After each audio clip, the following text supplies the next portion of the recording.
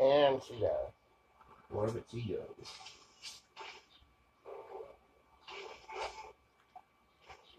He just doesn't want to make you go into orbit right now, does it?